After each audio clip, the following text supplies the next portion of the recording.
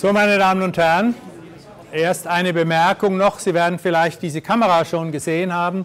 Die Vorlesung wird aufgezeichnet und Sie können typischerweise zwei Stunden nach Ende der Vorlesung äh, die Vorlesung bereits auf StudIP wieder anschauen. Äh, das führt dazu, dass Sie sehr unterschiedliche Lernmöglichkeiten haben, also mit der Vorlesung umzugehen. Ähm, ich habe mir von Studierenden sehr kreative Weisen schon erzählen lassen, äh, das ist also eine zusätzliche Dienstleistung, wo die äh, Leibniz-Universität auch wirklich in Deutschland ähm, sehr weit vorne ist. Viele Universitäten machen das noch nicht. Sie finden solche Sachen dann auch auf, iTunes U und sogar auch auf ähm, dem anderen YouTube auf dem Kanal. Also Sie können da, dann haben da Zugriff dazu. ich hoffe, es nützt Ihnen was. So, ich bin in der Diskussion des Unterschiedes von systematischer Philosophie und Philosophiegeschichte. Ich hatte Ihnen versucht, diesen Kontrast klarzumachen, dass es eines ist, eine Frage zu stellen bezüglich einer Sache, eine philosophische Frage, also zum Beispiel eben, ähm, gibt es einen Gott? Und dann versuchen Sie eine philosophische Antwort darauf äh, zu haben, zum Beispiel in Form eines Gottesbeweises. Das ist eines, das zu tun. Das andere ist es, nachzulesen, wie bestimmte Leute mit einer bestimmten Frage umgegangen sind, was das für Folgen gehabt hat und ähnliche Dinge. Ähm, nun ist es so, dass man jetzt nicht es äh, glauben darf, weil das eine systematische Philosophie heißt und das andere Philosophiegeschichte, dass die Philosophiegeschichte nicht systematisch vorginge. Das tut sie natürlich auch, aber in anderem Sinne eben. Also zum Beispiel geht die Philosophiegeschichte selbstverständlich systematisch vor, wenn es um die Rekonstruktion irgendwelcher philosophiegeschichtlich bedeutsamen Positionen und der dafür vorgebrachten Argumente geht. Selbstverständlich müssen Sie dann systematisch durch die Texte durchgehen und schauen, gibt es da Varianten von den Texten und die sorgfältig lesen und aufeinander abstimmen und, und, und, und. Das ist nicht die Meinung, sondern der Punkt ist einfach der Fokus der Frage. Will ich eine bestimmte Frage, eine philosophische Frage beantworten oder will ich wissen, was irgendwelche Figuren der Vergangenheit zu dieser Frage gesagt haben oder wie sie sie behandelt haben? Und das ist eben wirklich zweierlei, wirklich mit der Analogie mit den Opern. Es ist eben wirklich zweierlei. Opern, bestehende, existierende Opern zu hören, zu analysieren versus Opern zu komponieren. So, also der Kontrast zwischen systematischer Philosophie und Philosophiegeschichte beinhaltet selbstverständlich nicht, dass man philosophiegeschichtliche Untersuchungen systematisch betreiben muss, aber jetzt in einem anderen Sinn von systematisch, nämlich im Sinn von ordentlich und methodisch irgendwie und alles berücksichtigen und ähnliche Dinge. Der entscheidende Unterschied ist aber, dass typischerweise nach einer systematischen Klärung einer philosophiegeschichtlich wichtigen Position nicht gefragt wird, ob die Position auch wahr ist, sondern da versucht man einfach festzustellen, ja, was hat jetzt der Autor genau gesagt, was waren genau die Argumente, wie haben diese Argumente weitergewirkt und verschiedene andere Dinge. Man stellt aber nicht die Frage, typischerweise in der Philosophie Geschichte, stimmt das eigentlich? Also sie studieren dann Kant bis in viele Verästelungen, stellen dann fest, also da hat der Kant dies gesagt, jenes gesagt, dieser Teil der Kantischen Philosophie steht in einer gewissen Spannung zu jenem Teil der Kantischen Philosophie und und und kann man unendlich lange äh, machen. Aber sie stellen typischerweise nicht die Frage, hat der Kant eigentlich recht? Stimmt das eigentlich, was er sagt?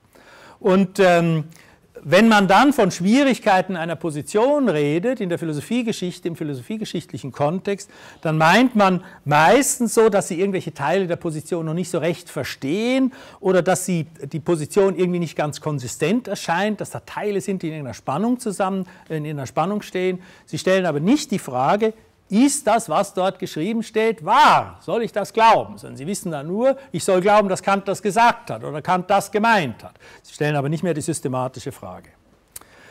Bisweilen ist es sogar so, und da, jetzt werde ich nicht deskriptiv, sondern normativ, indem ich das bewerte, bisweilen ist es so, dass Philosophiehistoriker sich dermaßen stark in diese Philosophiegeschichte reingeben, dass sie die Wahrheitsfrage bezüglich Positionen kaum mehr verstehen. Wenn Sie dann Leute fragen, dann sagen Sie mal, stimmt das eigentlich?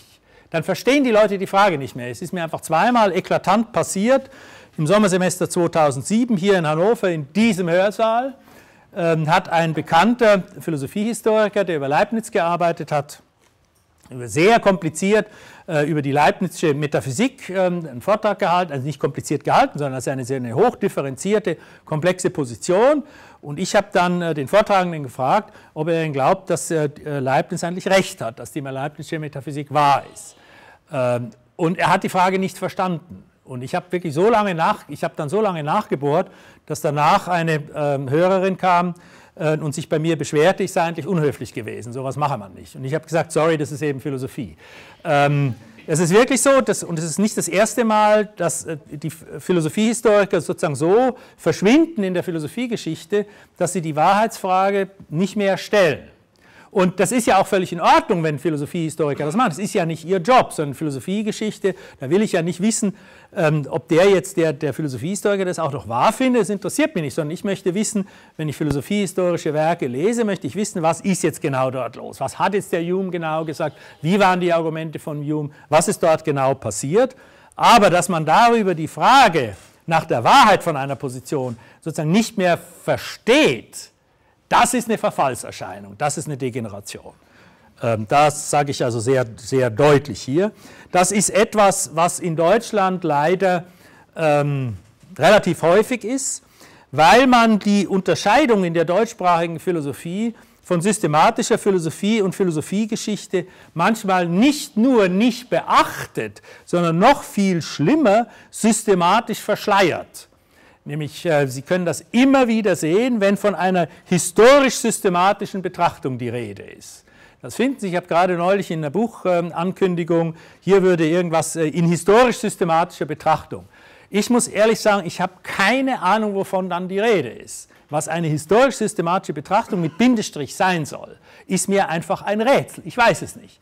Ähm, oft ist es nur gemeint, dass man eine historische Betrachtung macht und dann noch die Argumente mit dazu nimmt, die zu irgendwelchen Wechseln geführt haben.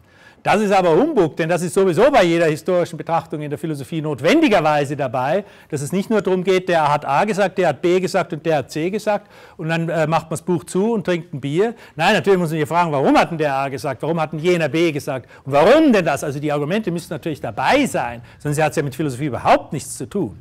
Aber wenn man meint, das wäre dann bereits systematisch, macht man natürlich einen schweren Fehler. Und die systematische Betrachtung fragt eben danach, ja, ist diese Position A wahr? Stimmt die? Ist das einfach wahr? Punkt. Dann kann man ja sagen, ja, das ist unglaublich schwierig, ob das jetzt wirklich wahr ist. Aber bitte die Frage nicht illegitim machen oder die Frage vergessen oder die Frage verschütten. Das scheint mir sehr wichtig zu sein. Man vergibt sich auch gar nichts, äh, wenn man sagt, ähm, dass der Unterschied wichtig ist, denn man kann, wie gesagt, beide Sorten von Fragen ohne weiteres stellen.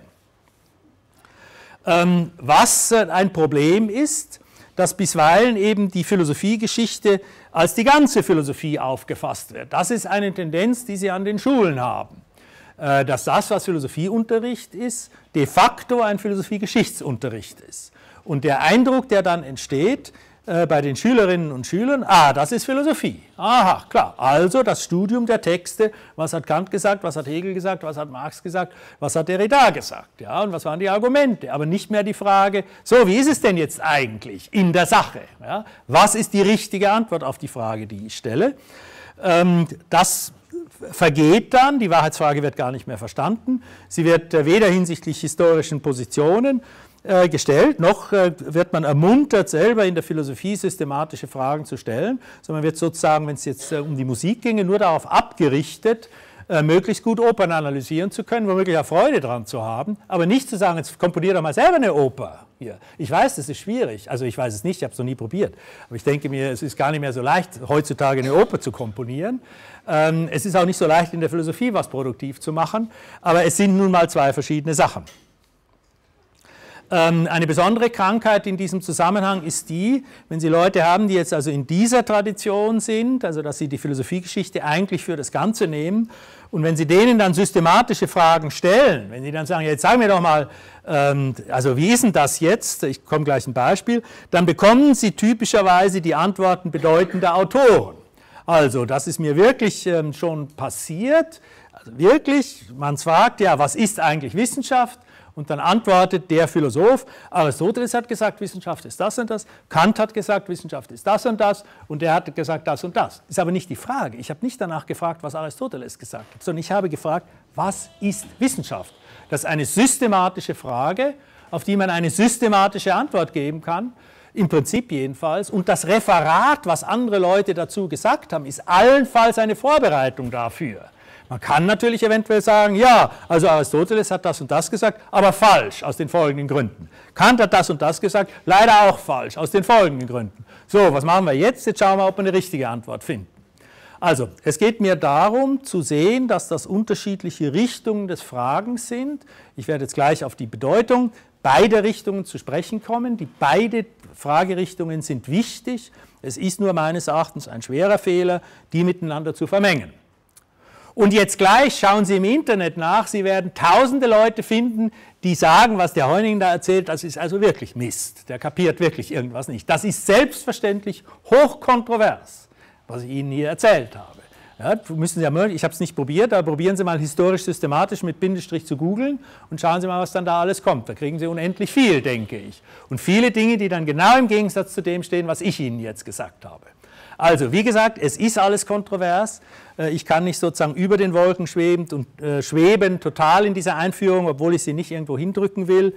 Bei manchen Dingen komme ich nicht drum herum, dann zu sagen, wie ich es für richtig finde. Und ich finde es in der Sache her so. Es gibt einen wesentlichen Unterschied zu Fragen nach historischen, also philosophiegeschichtlich zu fragen, versus philosophische Fragen zu beantworten und das zu beurteilen, ob es sachlich richtig oder falsch ist. So, das heißt aber, und das ist mir jetzt extrem wichtig, wenn man diesen Unterschied macht, dass das keineswegs bedeutet, dass die Philosophiegeschichte für die systematische Philosophie irrelevant ist. Das ist eine Irrmeinung, die Sie durchaus finden in dem großen Bereich der Philosophie, wo man viel mehr systematische Fragen stellt, nämlich die analytische Philosophie. Da komme ich darauf zu sprechen. Dort gibt es Leute, die dann sagen, äh, Quine ist ein berühmter Repräsentant davon, der gesagt hat, Entweder interessiert man sich für Philosophie oder für Philosophiegeschichte. Also für den ist das wirklich eine aus sich ausschließende Sache. Äh, wer sich für die, wirklich für die Philosophie interessiert, also im Sinne der systematischen Fragen, der interessiert sich nicht für die Philosophiegeschichte. Das ist einfach ein anderes Boot. Das ist was für die anderen, nicht für die richtigen Philosophen. Das ist die Meinung dort. Dieser Meinung bin ich absolut nicht. Ich glaube, die Philosophiegeschichte ist für die systematische Philosophie hochgradig relevant. Und ich gebe Ihnen jetzt ein paar Argumente dafür, warum Sie also nicht sozusagen jetzt meinen sollten, dass ich Sie dazu ermuntern würde, nur auf das eine Pferd zu setzen äh, und das andere dann äh, frei galoppieren zu lassen. Das erste ist die Öffnung des geistigen Horizonts. Das ist natürlich eine Metapher, dieser geistige Horizont. Ähm, es ist einfach die Frage, mit wie vielen verschiedenen Dingen sie geistig bereits konfrontiert worden sind, wie viel sie überhaupt kennen, was es alles so gibt an möglichen Positionen, möglichen Argumenten, möglichen Fragen, möglichen Antworten. Und das können Sie in der Philosophiegeschichte lernen. Wenn Sie sich also das erste Mal beispielsweise mit Hegel beschäftigen, dann werden Sie mit Dingen konfrontiert, wo Sie noch nie im Traum dran gedacht haben. Also wirklich noch niemals im Traum, wo Sie eine Zeit lang brauchen, bis Sie überhaupt irgendwas verstehen. Und dann plötzlich merken Sie, mein Gott, was macht denn der sich für Gedanken? Aber so blöd ist es eigentlich auch gar nicht. Könnte sein. Also wenn Sie von Schopenhauer kommen, sagen Sie, ja, pff, ja alles Mist.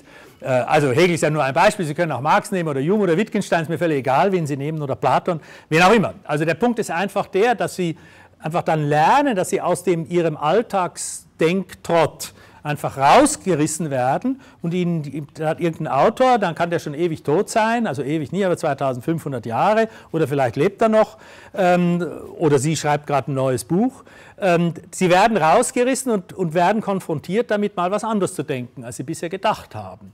Und das kann sein, dass das mit der Zeit ihren geistigen Horizont öffnet, wo sie nämlich viel mehr Dinge dann viel schneller verstehen können. Das ist also eine der Erfahrungen, die man machen kann mit Philosophie, Philosophiegeschichte, Dadurch, dass man schon, so, schon mehrere Dinge im Laufe der Zeit sich genauer angeschaut hat, verschiedene Positionen angeschaut hat, kriegt man auch einen besseren Zugriff dann wieder auf weiteres Neues. Einfach weil man sozusagen Übung hat, man wird schon flexibler und hängt nicht mehr an so vielen Dingen äh, mit der Zeit, dadurch, dass man einfach andere Positionen kennengelernt hat. Also Öffnung des geistigen Horizontes. Das Zweite ist, was Sie aus der Philosophiegeschichte bekommen können, ist die Kenntnis von Stärken und Schwächen bestimmter Standardargumente. Also, ich würde jedem und jeder, die sich jetzt zum Beispiel fragt, so, ich möchte das mal wissen, wie das mit den Gottesbeweisen ist, würde ich natürlich strengstens empfehlen, sich wirklich mit der Geschichte von dem äh, Anselm und dem, was dann passiert ist mit Descartes und Kant und so weiter, auseinanderzusetzen aber natürlich nicht nur in einer historischen Perspektive, sondern sich dann auch zu fragen, ja, wie ist denn das jetzt? Ist das kantische Argument gegen den Gottesbeweis, ist das wirklich schlagend oder ist es nicht schlagend? Ja, diese Frage zu stellen, nicht nur zu fragen, hat der Kant das wirklich gesagt? Wie hat er es genau gemeint? Nein, sondern ist das Argument, das Kant auf den Tisch bringt gegen den ontologischen Gottesbeweis, ist das wirklich ein schlagendes Argument, ja oder nein? Ja, das ist die Frage. Und das können Sie, die Frage können Sie sich natürlich erst stellen, wenn das Argument auf dem Tisch ist. Und das Argument kommt nur auf den Tisch, wenn Sie dann Kant lesen. Ja, dann müssen Sie mit ihm beschäftigen und natürlich versuchen, ihn so gut wie möglich zu verstehen. Also was Philosophie Historisches machen, sagen, was hat er jetzt wirklich gesagt, was ist wirklich dann. Und dann kommen Sie und stellen die normative Frage, ist das ein gutes Argument oder ist das kein gutes Argument? Ja, dann sind Sie bei der, bei der Sache, bei der systematischen Philosophie und jetzt in Sachen Gottesbeweisen, da haben einfach so viele gescheite Leute schon drüber nachgedacht. Und da hat sich die Themenstellung auch so, der hat sich auch geändert historisch, aber jedenfalls nicht so dramatisch, dass man nicht von diesen Autoren noch eine Menge lernen kann, wenn man die systematische Frage beantworten will. Ja, da können Sie was lernen, das waren nämlich ganz gescheite Leute und wie gesagt, die Frage ist ungefähr die gleiche geblieben. Es ist was anderes, wenn Sie sich für pränatale Diagnostik interessieren und dann lesen Sie Aristoteles, da kommt nicht viel, kommt nicht viel rüber. Bei pränataler Diagnostik ist Aristoteles notorisch schlecht. Ja, äh, da ist einfach nichts zu holen. Pardon, ich muss jetzt hier einfach mal, ah, mit Gewalt geht das nicht. Schauen wir mal, ob das mit weniger geht. So, wunderbar. Also, ähm, der Punkt ist der, man hat einfach bestimmt, bezüglich bestimmter Standardfragen, die historisch wenig Wandel zeigen, äh, hat man ein Reservoir, wo Sie einfach Ideen bekommen, Argumentformen bekommen, die Sie dann in systematischer Absicht bewerten können und sich fragen, ob man das brauchen kann oder ob man es äh, verwerfen muss. Und schließlich was ebenfalls äh, sinnvoll ist, wenn Sie also gegenwärtige Philosophie treiben, also gegenwärtige systematische Philosophie, dann können Sie manchmal diese gegenwärtigen philosophischen Positionen in einen größeren, wie man dann so schön sagt, Horizont einrücken, also Thesen und Positionen im Lichte der Geschichte betrachten und das kann etwas Sinnvolles sein. Sie formulieren irgendeine These und dann sagt Ihnen jemand, du pass mal auf, der Hume, der hat das schon ganz ähnlich gesagt, wie du das jetzt probierst. Lies doch mal den Hume dazu. Und das kann einfach sehr beleuchtend sein. Also Sie plötzlich sehen, ups, da ist ja noch ein weiterer Aspekt, den haben wir jetzt noch gar nicht gesehen, den sollte ich eigentlich mit reinnehmen. Ja, denn das waren gescheite Leute und soweit sie über im Wesentlichen die gleichen Probleme nachgedacht haben, und solche Probleme gibt es, ähm, wo die Leute vor 300, 500, 1000, äh, 1500 Jahren über ähnliche Probleme nachgedacht haben, dann wäre man ja ein Idiot, wenn man das, was die sich schon überlegt haben, überhaupt nicht mehr zur Kenntnis nehmen würde. Aber wie gesagt, das zur Kenntnis nehmen ist das eine und das andere ist es dann, eine Frage zu stellen, zu klären, zu beantworten und zu begründen. Und dazu sind das dann bloß Ressourcen. So, und schließlich ähm, wenn Sie Philosophie studieren, im Haupt- oder Nebenfach oder auch nur als Hobby, ähm, Philosophie ist ein unglaublich vielfältiges, also un, un, unglaublich vielfältiges Unternehmen. Jetzt nur diese westliche Tradition, jetzt wenn man die östlichen Traditionen, von denen ich nicht viel weiß, äh, gar nicht mal berücksichtigt, sondern nur diese Tradition schon.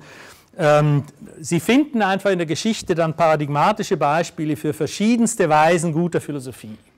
Sie werden also feststellen können, wenn Sie einigermaßen offen sind, dass sie dann Autoren, auch wenn sie dann mit den die Thesen also für nicht richtig halten, aus irgendwelchen Gründen, dennoch sehen, was für, was für tolle Weisen es gibt, sich mit philosophischen Problemen rumzuschlagen und die versuchen zu beantworten oder mit ihnen umzugehen. Und dass es einfach ganz, ganz, ganz unterschiedliche Weisen gibt. Da gibt es sozusagen brachiale Weisen, wo sie mit irgendwelchen logischen Hilfsmitteln versuchen, ein Problem dann zu erschlagen, bis zu ganz anderen Dingen, wo man sozusagen in einer fast meditativen Nachdenklichkeit mit einem Problem umgeht und versucht erstmal sozusagen zu spüren, was, da, was an dem Problem, was da noch alles mitschwingt. Das sind dann sehr unterschiedliche Weisen, von denen Sie zunächst mal keine Ahnung haben und wo sich nur, ein, nur wenn Sie sich einlassen, dann in diese merkwürdigen, zum Teil merkwürdig erscheinenden Texte, dann können Sie feststellen, also wie, wie unglaublich reichhaltig diese philosophische Tradition ist. Und Sie können dann im Sinne dieses ersten Punkts auch Ihren geistigen Horizont öffnen und auch mehr,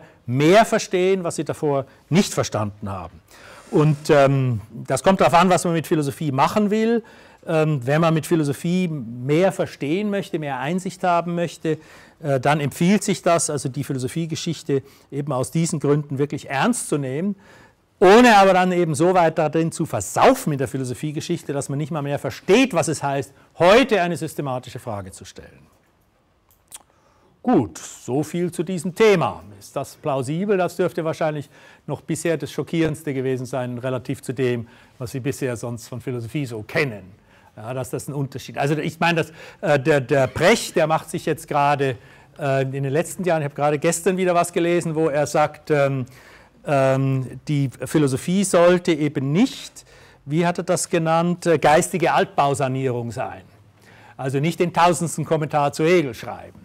Und das ist einfach gemeint damit. Das ist eben nur, hat es auch mal in einem Fernsehinterview gesagt, äh, dass äh, so wie in Deutschland typischerweise Philosophie getrieben wird, also jetzt weniger an Universitäten, aber sonst so, das ist nur Philosophiegeschichte. Da lernen Sie nur, wie Sie Texte analysieren und das anschauen, aber Sie lernen nicht primär, ist das ein gutes Argument oder ist es kein gutes Argument? Was genau besagt die These, die du jetzt sagen willst und was genau wäre ein Argument, das die These stützt oder sie widerlegt?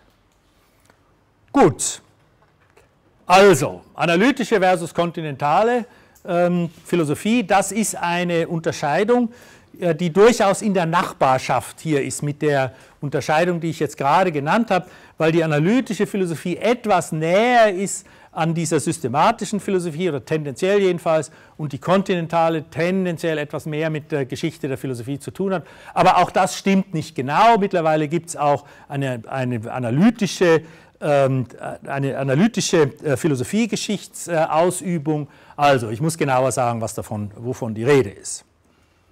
Zunächst finden Sie diese Unterscheidung erst im 20. Jahrhundert. Das ist eigentlich die Großunterscheidung, wo die Weltphilosophie, also die westlich geprägte Weltphilosophie, sagen wir mal vor 30 Jahren, fast in zwei große Lager zerfallen ist, eben die analytische Philosophie versus die kontinentale. Im Moment ist das, ähm, ähm, beginnt sich vielleicht aufzulösen, wird man sehen, wie das weitergeht. Es ist eine Unterscheidung, die im 20. Jahrhundert aufgekommen ist und die an Klarheit verliert. Und ich kann Ihnen nur relativ grob das sagen, wie gesagt, weil es so eine Riesenunterscheidung ist, die also unglaublich viel dann umfasst und verschiedene Aspekte. Es gibt eigene Bücher darüber, was ist analytische Philosophie und alles, was da drin steht, ist natürlich wieder kontrovers. Ja, also auch was analytische Philosophie ist natürlich kontrovers und was kontinentale Philosophie ist, ist kontrovers. Also das werde ich ja nie los. Äh, dennoch kann man so ungefähr sagen, dass man ungefähr sieht, äh, wo, was das hier zu tun hat. Nun, der Ursprung der analytischen Philosophie ist in der Anwendung der modernen Logik, das ist die Logik seit Frege, sage ich Ihnen später mehr dazu, 1879, also Ende 19. Jahrhundert. Ende 19. Jahrhundert ist was Rasantes passiert, eine Riesenrevolution in der Logik. Seitdem gibt es das Gebiet sogenannte moderne Logik. Komme ich darauf zu sprechen. Und was dort passiert ist, über diese Revolution in der Logik, dass Philosophen dann im Laufe der nächsten Jahrzehnte gesagt haben, Moment mal, jetzt gibt es hier diese neue Logik und mit dieser Logik können wir doch eigentlich jetzt Philosophie endlich mal richtig machen. Ja, denn alle Philosophen haben praktisch, oder viele Philosophen, die meisten, haben die Schnauze voll von diesen dauernden Kontroversen. Und immer wieder gibt es Ansätze, die sagen jetzt, Herrgott, hört doch mal auf mit den dauernden Kontroversen, was ist denn das für ein Mist, wir wollen doch mal zu richtigen Ergebnissen kommen. Ja, und der Kant hat das gesagt und diese Metaphysik als der Kampfplatz endloser Streitigkeiten, Schluss jetzt damit. Und so viele haben schon gesagt, Schluss damit und keinem ist es gelungen. Ja, lustig. Also bis ins 20. Jahrhundert. Schluss jetzt mit diesen Kontroversen. Jetzt machen wir es endlich mal richtig und dann ist es zu Ende. Leibniz ebenfalls. Alle, also viele haben es probiert, keinem ist es geglückt. Also, und das, was passiert ist im Beginn des 20. Jahrhunderts, dass die Leute gesagt haben, aber jetzt können wir wirklich Schluss machen mit den Kontroversen. Warum? Wir haben ein neues Instrument, mit dem wir Philosophie treiben. Das ist die moderne Logik. Die haben die Alten, die anderen noch nie gehabt. Kein Wunder, darum haben sie also da nur rumstreiten können. Wir haben jetzt die moderne Logik und jetzt wird die Philosophie richtig wissenschaftlich äh, und unkontrovers. Und jetzt können wir systematisch philosophische Fragen behandeln, indem wir diese moderne Logik einsetzen. Das ist der Ursprung der analytischen Philosophie. Da sehen Sie sozusagen sowohl ein gewisses Pathos als auch eine gewisse Einstellung, nämlich die Vorstellung, äh, dass man die Philosophie eigentlich bringen sollte in die Richtung einer Wissenschaft, sogar exakten Wissenschaft möglicherweise. Diese moderne Logik, die heißt auch mathematische Logik, komme ich auch noch darauf zu sprechen. Also, dass man das Gefühl hat, endlich kommen wir von dieser Schwafelei weg und dann wird es so ein bisschen wissenschaftlich und, dann, und dann, dann können wir uns einigen und die Logik und das wird dann so ein bisschen härter, das ist nicht dieses ewige Gerede und Gequassel und dann werden uns die Naturwissenschaftler und Ingenieure werden nicht immer sagen, ihr seid ja nur Quasselstrippen, ihr macht ja keine Experimente und gar nichts. Wenn wir dann Logik haben, haha, dann werden wir es denen aber zeigen. Ja? Dann machen wir philosophische Thesen und die werden dann knallhart begründet und dann wird das alles viel besser. Also das ist so, also ganz grob und leicht ähm, ähm karikativ, nicht karitativ, sondern äh, in der Form von einer Karikatur, äh, wo die Sache äh, hinläuft. Die Geschichte der Philosophie wird in dieser Perspektive typischerweise in den Hintergrund gedrängt. Auch das ist jetzt wirklich ganz grob. Es gibt selbstverständlich auch mittlerweile analytische Richtungen äh, in der Geschichte der Philosophie. Ähm, typischerweise, jedenfalls in der Anfangszeit, war das so, weil gesagt worden ist, ja, diese alte Philosophie, die ja noch nicht die Logik benutzt hat, das war ja eigentlich gar keine richtige Philosophie. Ja, das waren einfach so Versuche, so Vorversuche. Das ist einfach alles nicht besonders interessant. Das können wir eigentlich vergessen. Ähm, und das bringt einfach viel zu wenig. Da hat man so ein bisschen was dann von Aristoteles, wo der Logik gemacht hat. Ja, das ist, kann man brauchen. Und dann der Leibniz, der hat auch Logik gemacht. Das kann man auch brauchen. Aber der Rest kommt, ist doch nicht interessant, ist nicht spannend. Da kann man nicht wirklich was davon lernen, sondern wir beantworten jetzt die auf systematische Weise die Fragen, die philosophischen Fragen, die man selber stellen möchte, wir beantworten die mit einem Instrumentarium, das unsere Vorgänger nicht hatten. Deswegen wird die Philosophie jetzt besser, wird sozusagen wissenschaftlich. Und deswegen ist das Interesse dann an Geschichte der Philosophie, also alle die Dinge, die ich davor genannt habe, natürlich untergeordnet. Wir sagen ja, was heißt denn hier, also wenn, wenn die jetzt mit mir geredet hätten, ja, was heißt denn hier Horizonterweiterung? Die quasseln doch einfach nur, ich muss ja nicht meinen Horizont erweitern, da mit so gequassel, sondern ich sollte lieber Logik lernen und dann die Probleme lösen.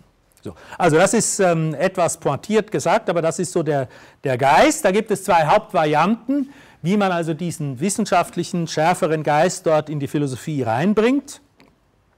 Und das eine ist die Philosophie der idealen Sprache. Da ist durchaus ein sehr mathematischer Geist in gewisser Weise ähm, im Hintergrund, nämlich dass gesagt wird, dieses ganze Gerede in der bisherigen Philosophie, das liegt daran, dass unsere Umgangssprache so vieldeutig ist und vage ist und man alles Mögliche dort sagen kann. Kein Mensch weiß, was das wirklich bedeutet. Und das ist einfach, das ist einfach ein fürchterliches Durcheinander. Damit kannst du ja ein Gedicht schreiben, das ist ja auch nett. Aber bitte, das, also zum Philosophieren ist das einfach viel zu schlecht. Und deswegen, wir brauchen eine ideale Sprache und das bedeutet, konstruiere eine klare Kunstsprache, in der philosophische Probleme eindeutig formuliert und auch gelöst werden können. Also der gute Leibniz, falls Sie es nicht gemerkt haben, der Namenspatron dieser Universität, das dürfen Sie nie vergessen. Wo immer Sie sind auf der ganzen Welt, Sie kommen von der Leibniz-Universität Hannover. Also und der Leibniz, der hat eben auch schon so eine Idee gehabt. Der nannte das, äh, falls Sie es noch nicht im Kellergeschoss dort gelesen haben, da sollten alle Erstsemester hingehen, andächtig die Tafeln lesen über Leibniz. Der hat eben dort schon sich gedacht, man könnte so eine universelle Kunstsprache schaffen, die Charakteristika Universalis hat er das genannt, also eine universelle Sprache. Und ähm, wenn, wenn man das schafft und man dann philosophische Probleme in dieser Sprache formuliert, dann läuft es darauf hinaus, die richtigen Antworten auf diese Fragen sozusagen zu errechnen. Also er hat da die Vorstellung gehabt, also zwei Philosophen sitzen am Tisch, diskutieren ein Problem, dann sagen sie, okay, jetzt formulieren wir es in der Kunstsprache und was wir dann machen, kalkulemus, lasst uns hinsetzen und rechnen. Ja? Also ob Ihnen das passt oder nicht, je nachdem, ob Sie Mathematik gern gehabt haben oder nicht. Das ist jedenfalls eine Vision, die es in der Philosophie immer wieder gegeben hat, nämlich, ich komme auch noch darauf zu sprechen, dass man über eine Art von Mathematisierung die Philosophie einfach auf einen besseren Weg bringen kann und mehr Konsense, also mehr gesichertes Wissen schaffen kann, als man es mit unserer normalen Umgangssprache machen kann, mit ein paar Kunstausdrücken noch äh, dazugefügt. Das ist also die Vision hier. Das ist eine Art Mathematisierung der Philosophie, wenn man so will. Ähm, wenn Ihnen Mathematik, wenn Sie das nicht mögen, Sie müssen unbedingt, also das ist, würde ich Ihnen jedenfalls nahelegen, verstehen, was hier der Impuls ist. Der Impuls ist einfach mehr Sicherheit zu bekommen, eine sichere Erkenntnis. Auch wenn Sie Mathematik nicht mögen, aber die Mathematik, da wird einfach kaum gestritten. Ja, das liegt einfach daran, wer das Mal aufmacht, eine Behauptung aufstellt, muss einen Beweis liefern, entweder stimmt der Beweis oder nicht. Und das ist feststellbar in den allermeisten Fällen. Ja, dann ist Diskussion zu Ende. Ja, und deswegen hat die Mathematik seinen Sonderstatus und den versuchen Philosophen seit zweieinhalbtausend Jahren immer wieder sozusagen ähm, äh, zu benutzen und für die Mathematik fruchtbar zu machen. Also Philosophie der idealen Sprache. Die andere Variante ist die sogenannte Philosophie der normalen Sprache. Und dort, die hat eine ganz andere, sozusagen eine andere Richtung dann. Die sagt eben, analysiere die Alltagssprache mit logischen Mitteln. Also überleg dir erstmal mit logischen Mitteln, wie funktioniert eigentlich unsere Alltagssprache? Und wie funktioniert die Alltagssprache, wenn du sie verwendest, um philosophische Probleme zu stellen ja, und Fragen zu stellen und Antworten zu geben? Und dann wirst du sehen, dass viele Probleme der philosophischen Tradition Scheinprobleme sind, nämlich Resultate von sprachlichen Missverständnissen. Das ist die These. Also das ist eine sehr destruktive Sache. Das andere, diese Philosophie der idealen Sprache, hat eher so die Vision, wir mathematisieren die Philosophie und bauen dann auf, können eine Philosophie bauen, bekommen dann wunderbare, klare Ergebnisse und mit Beweisen und allem Möglichen. Und hier ist die Vision eher so, nein, nein, analysiere mal ganz genau, wie unsere Alltagssprache äh, funktioniert, mach das mit Hilfe dieser modernen Logik. Da kann man irgendwie Sprache analysieren. Verstehen Sie nicht, was das sein soll? Werde ich Ihnen zeigen in äh, bestimmten Details. Also mach das und dann wirst du feststellen, dass manche philosophische Probleme nicht etwa beantwortet werden, sondern sie verschwinden. Einfach weil du merkst, die Frage ist ja völliger Mist. Ja? Die Frage ist etwa so wie die Frage, welche Farben haben die Primzahlen? Ja, wenn Sie darüber nachdenken, mein Gott, die Primzahlen, welche Farben haben die bloß? Sind die Primzahlen rot oder sind die grün? Bis Ihnen jemand sagt, hey, sch, sch, sch, falsche Frage, Primzahlen, kann, überhaupt keine Farben. Frage unbeantwortet, Mistfrage, vergiss die Frage. Überleg mal, was sind Primzahlen, überleg mal, was sind Farben. Das geht nicht zusammen. Ja? Frage verschwindet, wird nicht beantwortet, sondern verschwindet. Und auf ähnliche Weise eben äh, war die Meinung dort, von vielen Exponenten. Wenn du wirklich darüber nachdenkst, wie die Sprache funktioniert, also welche Begriffe da zum Beispiel zusammenpassen oder eben nicht zusammenpassen oder mehrdeutig sind oder sowas, dann verschwinden viele philosophische Probleme. Auf dieselbe Weise, wie die Frage verschwindet, welche Farben haben die Primzahlen. Ja? Die Frage wird nicht beantwortet, sondern wird eliminiert. Das ist sehr destruktiv die Frage ist, was von der Philosophie dann übrig bleibt, und da ist natürlich sofort die Kontroverse wieder da, in der Philosophie, auch in der analytischen Philosophie, wenn sofort rumgestritten, was ist dann alles wieder los ist. Also, das ist die Richtung. Auch das ist natürlich etwas, wo man zunächst mal sozusagen den, den, den Impuls positiv würdigen muss. Wenn du schon philosophische Fragen dir stellst, philosophische Probleme wählst, mach dir aber klar, wie die Sprache dabei funktioniert. Denn dabei könnten Dinge schiefgehen. Und äh, das ist natürlich was Sinnvolles, was Sie auch die gesamte Philosophiegeschichte natürlich finden. Das macht Aristoteles selbstverständlich auch schon, aber es wird hier einfach sozusagen zum Programm gemacht, diese analytischen Philosophie in der Variante der Philosophie der normalen Sprache. In jedem Fall kann man sagen, dass die analytische Tradition den Ehrgeiz hat, zu größerer Klarheit bei den Behauptungen und zu einem höheren Standard der Begründung zu kommen, als das in der bisherigen philosophischen Tradition der Fall war. Das geben mittlerweile, glaube ich, die überwiegende Zahl der Autoren zu, dass das sozusagen die Zielvorstellung war, hier größere Genauigkeit zu haben. Die Meinungen gehen natürlich sofort auseinander, ob das in irgendeiner Weise funktioniert hat. Also das ist dann wieder ganz kontrovers. Aber das habe ich jedenfalls auch schon wirklich von, von kontinentalen Philosophen öfters gehört, die das gesagt haben, ja, das haben, das probieren die natürlich. Aber, aber, aber. Also zunächst mal, um das zu äh, illustrieren, äh, dass einfach immer wieder gefragt wird in, einem philosophischen, in einer philosophischen Auseinandersetzung, was genau ist eigentlich die Behauptung? Also was steht jetzt auf dem Spiel? Was genau hast du gerade eben behauptet mit deiner philosophischen These? Was sagt das genau? Das sind die und die Begriffe, erklär mir, was diese Begriffe sagen. Was genau ist deine Behauptung? Und dann in einem zweiten Schritt, und jetzt, was ist die Begründung der Behauptung? Welche, mit welchen Gründen über, möchtest du mich davon überzeugen, dass ich diese Behauptung für wahr anerkenne? Einfach diese Unterscheidung zunächst mal machen. Klär erstmal, was deine Behauptungen sind, was du wirklich sagen möchtest, werde dir darüber klar. Und wenn du dir darüber klar geworden bist, was du eigentlich sagen möchtest, sag mir, was die Begründung ist und überlege dir genau, ob das, was du, mit dem du jetzt kommst, wirklich in der Lage ist, die These, die du aufgestellt hast, zu begründen und mich von der Wahrheit der These zu überzeugen. Also das ist etwas, eine, eine Disziplin, die dort reingeführt wird in die, äh, von der analytischen Philosophie her. Wie gesagt, die ist, das wird bisweilen anerkannt.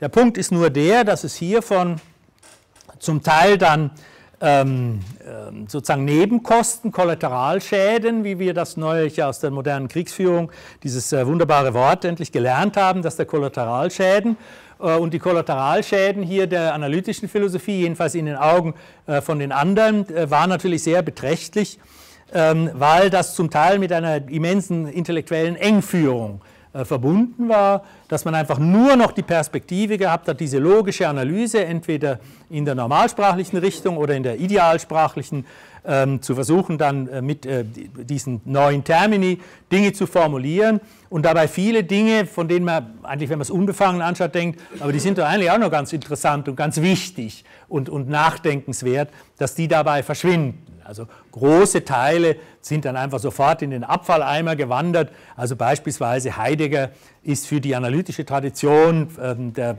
40er, 50er Jahre, also der Heidegger, also der, boah, da muss man gar nicht lesen. Also und für viele heute, äh, wenn Sie anschauen, Leute in der analytischen Tradition, das ändert sich jetzt so ein bisschen, äh, die haben noch nie eine Zeile Hegel gelesen, aber sagen, Hegel, nee, das ist wirklich nichts. Also, ach, das kannst du wirklich vergessen, das ist wirklich Quatsch. Also lesen aber gar nicht mal.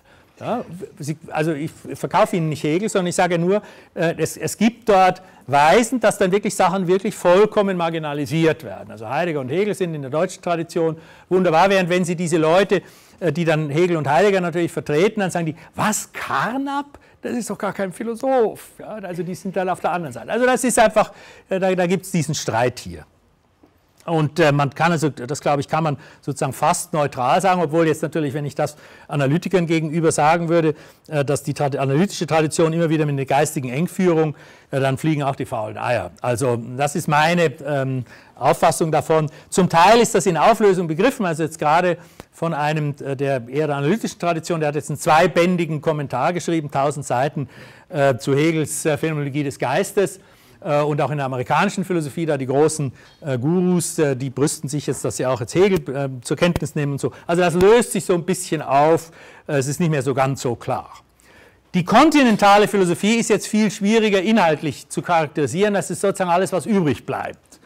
Ähm, und ähm, da kann man zunächst mal sagen, die heißt eben kontinental, also vielleicht zunächst mal die Gegenüberstellung von analytisch versus kontinental ist natürlich haarsträubend. Oder zu kontinental ist der Gegenbegriff ozeanisch oder so irgendwas. Oder? Und zu analytisch wird man sagen, ja, was synthetisch oder was. Aber allerdings wird einem natürlich schlecht, wenn man einmal drüber nachdenkt. Hat sich aber einfach so eingebürgert. Da sieht man, wie hoch ähm, das Niveau ist, ähm, in der Philosophie die eigenen Termine zu erfinden. Äh, also ich finde, das ist brachial, grauenhaft. Anyway. Also die kontinentale Philosophie, das sind vor allen Dingen Autoren aus dem europäischen Kontinent und dort besonders Autoren aus Deutschland und Frankreich. Sie finden also genuin kontinentale Philosophen praktisch nicht in Großbritannien, USA oder Australien oder auch Kanada. Also im Französisch-Kanada natürlich schon, aber im britisch, also im englischen äh, Kanada nicht, sondern das sind vor allen Dingen Deutschland und Frankreich. Und die Leute, die da so typischerweise dazugezählt werden, Husserl, Heidegger besonders, Adorno, Habermas, Foucault, Derrida. Äh, und das ist etwas, wo also die richtigen hartgesottenen analytischen Philosophen äh, nur also äh, sozusagen sich kreuzigen. Ähm, das machen sie natürlich nicht, aber machen so etwas funktional Äquivalentes. Also damit wollen die nichts zu tun haben. Und wenn man sich fragt, wie unterscheiden sich die jetzt, diese kontinentalen Philosophen von den analytischen, dann gibt es einfach eine Fülle von Sachen, die wirklich anders sind. Man kann das aber wieder nicht zusammenfassen, weil es wirklich sozusagen der Rest ist von dem, was, wenn Sie diesen analytischen Teil der Philosophie da rausnehmen, alles, was dann übrig bleibt. Und das ist extrem heterogen. Da sind die unterschiedlichsten Dinge drin.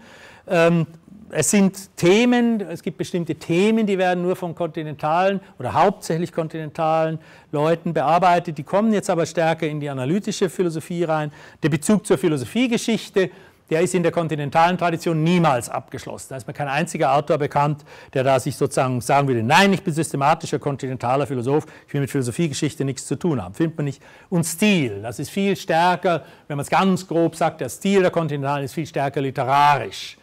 Ja, also das ist, äh, das ist da nicht so trocken und Logikgefummel, sondern das ist dann schöne Geschichten, also ganz locker gesagt.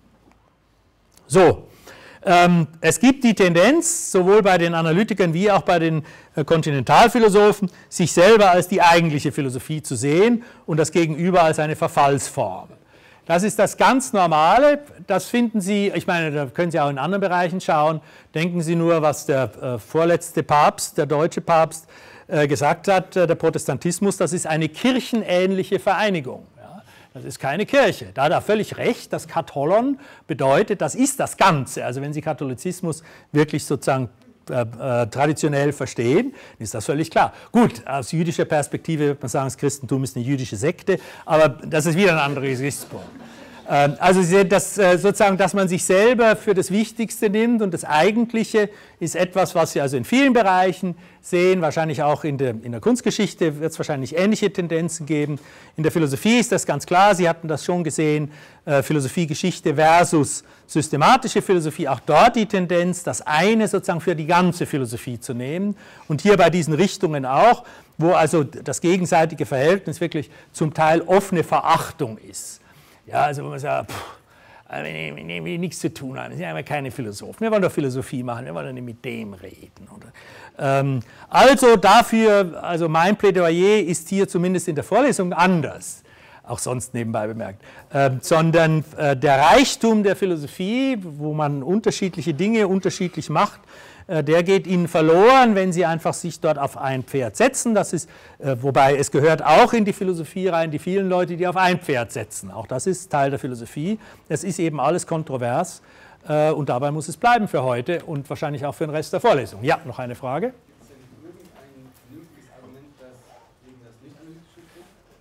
Gibt es ein Argument, das gegen das für das Nicht-Analytische trifft? Ja, also jetzt soll ich die kontinentale Tradition verteidigen. Ja, die Philosophie, die analytische Philosophie beschäftigt sich, also wenn ich jetzt sozusagen mal mime, einen ganz ähm, radikalen würde ich sagen, die beschäftigt sich natürlich mit all den kleinen, unwichtigen Fragen und die eigentlichen Fragen, die man in der Philosophie hat, von alters her, seit zweieinhalbtausend Jahren, gehen einfach bei der, gehen bei der analytischen Philosophie verloren. Die werden vernachlässigt wie gesagt, das ändert sich im Moment. Also eine Zeit lang war es so, dass Metaphysik und Ontologie ein Schimpfwort waren für analytische Philosophen. Mittlerweile gibt es eine analytische Metaphysik. Ja, aber eine Zeit lang war es so, Metaphysik, was? Das ist doch kontinentaler Quatsch. Kann man dann alles Scheinfragen, alles Mist. Kann man nicht brauchen. Das hat sich jetzt geändert. Und äh, der, der, Punkt ist einfach der, wenn Sie jetzt sozusagen offen da mal rumschauen, dann beschäftigen sich ähm, die kontinentalen Philosophen mit Themen, die einfach in der analytischen Philosophie noch keinen Ort haben, wo noch nie jemand drangegangen ist, weil der findet, was ist denn das für ein Gerede? Hier. Und dann ist einfach die Frage, ob man sagt, ja, das ist einfach nur Gerede oder, oder kann man da vielleicht, weil es so schwierig ist, nicht anders reden vorläufig und dann ist wieder alles kontrovers. Also die Frage kriegen Sie nicht so schnell beantwortet, ähm, weder von mir noch von jemand anders. Versuchen Sie mal zu googeln, ob Sie da was Interessantes finden. Wie gesagt, es ist alles kontrovers. Ich wünsche Ihnen eine schöne Woche. Bis zum nächsten Mal.